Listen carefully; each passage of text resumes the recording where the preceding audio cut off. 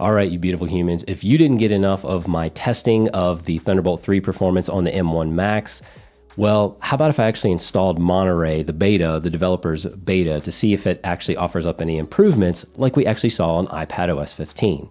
Now, of course, here's the thing, folks. NVMe is a communication protocol, and Apple is just not picking up the phone on this one.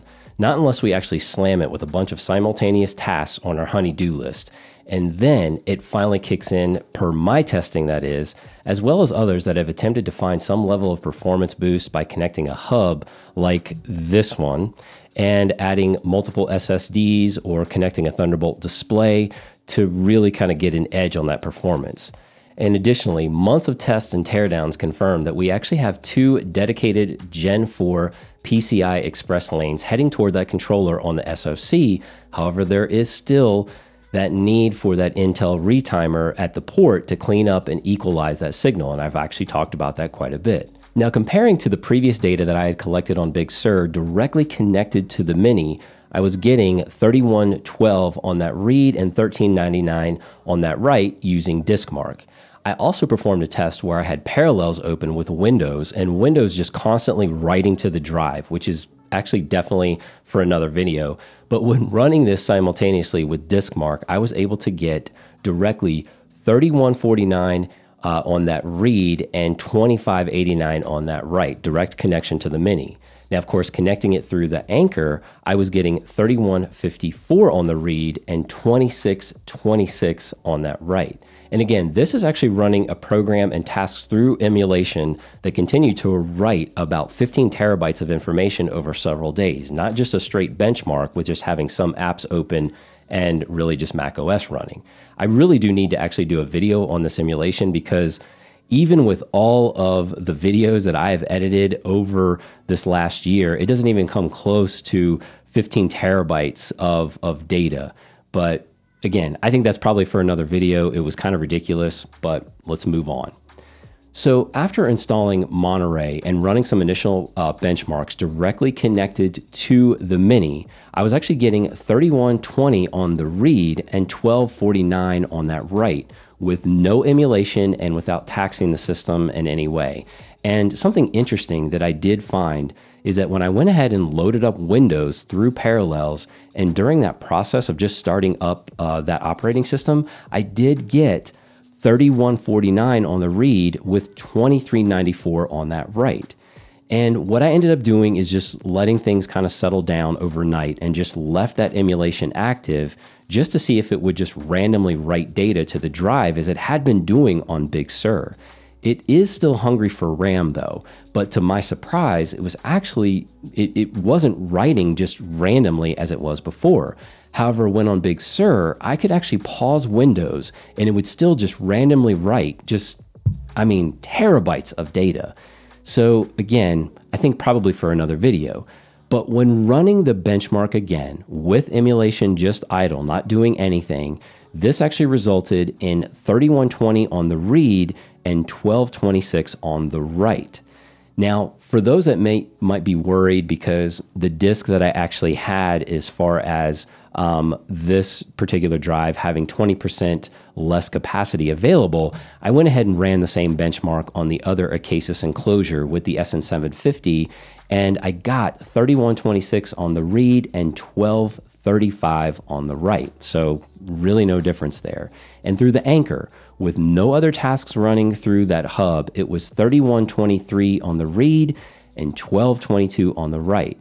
And this also is with that USB C monitor behind me um, connected directly to the Mini. So not a um, not a Thunderbolt display, not Thunderbolt connected, just USB C. Now, of course, I did run a, a, another benchmark where I played Rocket League and, and not really very well. But when I did that simultaneously and running that benchmark, I got 3147 on the read, 2694 on the write. And it's not really any kind of surprise here based on all the additional testing that I've done over this last year, where you're just taxing the system and throwing as much at it as possible. Now, two quick real world benchmarks that I did run was that I exported the same 4K timeline on the external SSD uh, in Big Sur and I got a result of five minutes and seven seconds.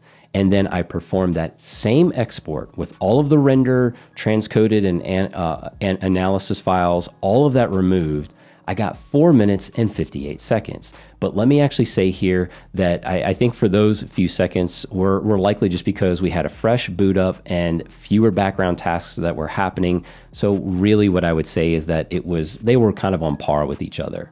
So, what does all of this really mean? Well, even though it seemed as if we got that performance bump with iPadOS 15, at least with my testing, it still doesn't appear that this is as simple as Apple's engineers uh, being able to get this communication protocol dialed in because we're likely at the limit of what the M1 chip can really do without calling up any of these extra tasks and basically alert the Thunderbolt controller that it's all good to just open up that throughput through that lane and allow it to be saturated on its own. So it really does beg uh, the question here of whether you need to get one of these Thunderbolt hubs or docks just strictly for performance. And really, it would also come down to whether you need or want to run simultaneous tasks. And, and you know, to that I say, if you need extra I/O, simply put, if you just need the extra I/O, then hands down, it is a worthwhile investment.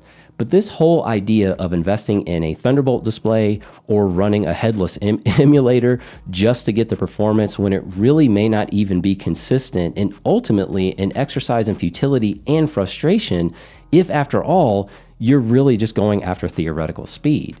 Now, of course, none of this is actually supposed to excuse Apple and whatever is happening with this protocol, but I can't deny the fact that this device has been one of the best investments I've made in my business, and I've really tried to do everything short of smashing it. Um, and it, it really just does, it keeps trucking along and giving me back more time in my business. So I don't think Big Sur is the equivalent of Windows Vista by any means, but I will say that even this early developers release of Monterey seems to be what we should have gotten when M1 was actually launched. But I'll probably do more on that later. I really just wanted to keep this short and sweet as I could and make this one, you know, sort of an in and out as best I can. So you know where to find me. Do those things that matter, rock those faces, and I'll catch you right back here on the next one. Anybody interested in something simple like reviewing a plug or something? I mean, I do have data. I, I have some numbers. Just saying.